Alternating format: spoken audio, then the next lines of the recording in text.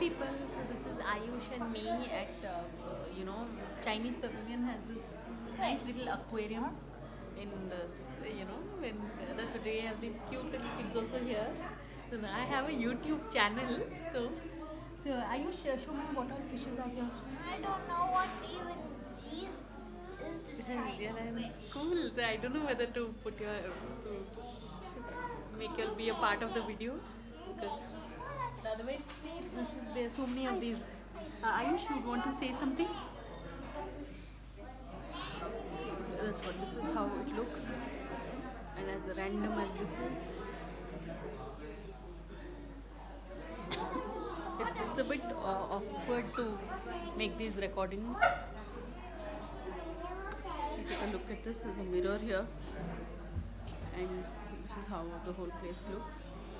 And we can go back and uh, go back and we are waiting for our dinner. It's just two hours away from New Year, and that's a sweet children here. Oh my God, so tiny. But on that note, it's already one minute video. But I'll catch you all in my next video. So on that note, thanks for watching and please subscribe.